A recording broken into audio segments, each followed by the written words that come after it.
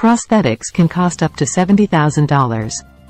This influencer is running a marathon on crutches. This influencer is running a marathon on crutches. Para, 22, is planning to run the San Francisco Marathon on crutches Sunday to raise awareness about the high cost of athletic prosthetics, which are often not covered by insurance and can cost more than $50,000. Alex Para on his last day of chemotherapy for stage 4 lung cancer. While training, he was using the same crutches he got from the hospital seven years ago.